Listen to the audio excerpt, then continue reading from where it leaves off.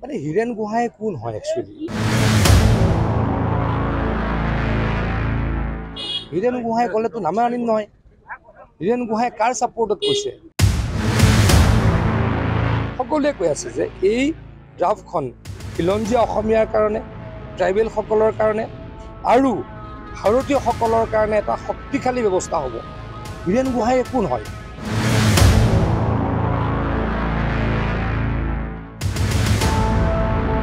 Doctor Hiren Gohain কোন?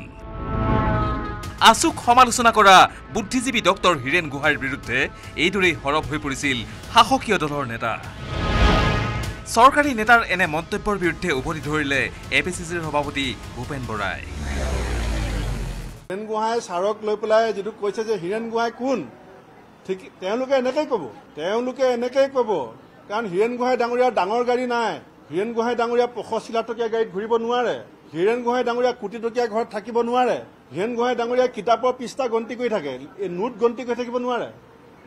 গতিকে হীৰেণ গোহাঁই ডাঙৰীয়াক তেওঁলোকে কেনেকৈ চিনি পাব? হীৰেণ গোহাঁই ডাঙৰীয়াক অসমৰ ৰাইজে চিনি পায়। প্ৰজন্মই প্ৰজন্মই চিনি পায়। এই একেটা অহংকাৰ এই একেটা অহংকাৰ মহাভাৰতত দুৰ্যোধনৰ হৈছিলে। ভগৱান কৃষ্ণক শিকলি লগাই পেলাই বান্ধিছিলে। সেই দুৰ্যোধন এতিয়া বিজেপি চৰকাৰত ওলাইছে।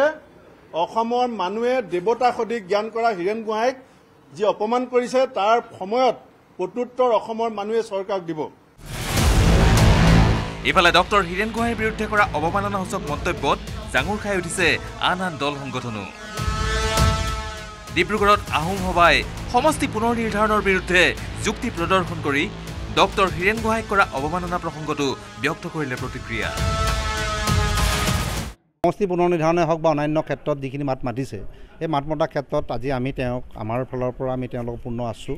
আৰু আমি কৈছোঁ যে হীৰেণ গোহাঁই ছাৰ অসমীয়াই নহয় আমাৰ হিয়াৰ আমঠু আমাৰ আত্মা আহোমসকলৰ আত্মা। গতিকে তেওঁক লৈ কুটু মন্তব্য কৰাৰ আগতে মই ভাবোঁ যে কথাটো বিশ্লেষণ কৰাৰ প্ৰয়োজনীয়তা আছে আৰু যিসকলে মানে খুব ট্ৰল কৰিব বিচাৰে তেওঁসকলৰ আচলতে তেওঁৰ লগত তুলনাই নহয়। কোনোবাই চিনি নাপাওঁ কিবা নাই ট্ৰল কৰা কথা হ'ব নালাগে।